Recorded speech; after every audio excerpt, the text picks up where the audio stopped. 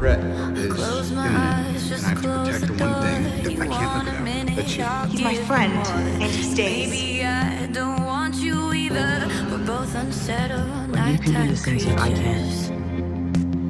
you don't. And then the bad things happen. They happen because of you. You make me